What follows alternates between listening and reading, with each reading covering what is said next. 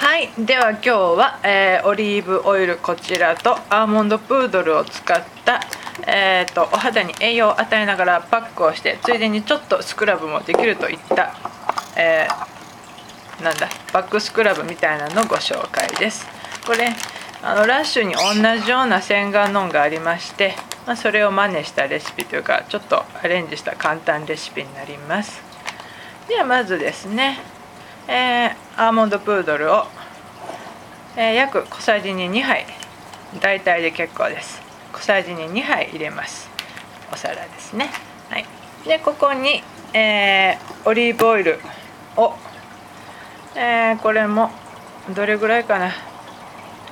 アーモンドプードルが、えー、湿る程度でいいのでとりあえず小さじ1入れて。でちょっとふがふがと混ぜましてあちょうどはいこんな感じになったら OK です。ちょっと油が多すぎたなと思う時はえっ、ー、とアーモンドプードルを少し足していただければいいかと思います。でこんな感じになったら OK でしてこれの使い方なんですが、えー、洗顔後に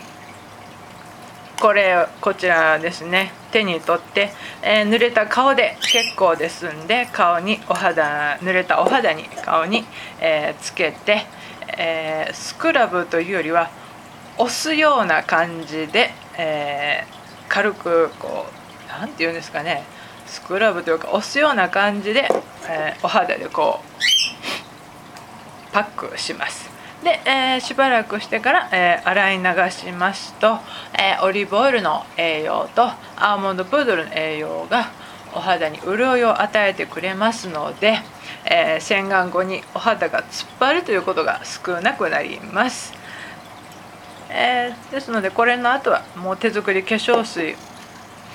と、え簡単なクリームといったケアで十分かと思います。そしてこれをする場合の最大のポイントは目の周りは避けるです。目に入ると非常に取れませんので目の周りは絶対に使わない。これ目に入るととても痛いです。なるべく頬の辺りを押すような感じで、えー、スクラブしてください、えー、では、えー、お肌に栄養を与えるスクラブパックのご紹介でした。簡単にできますので是非トライされてみてください。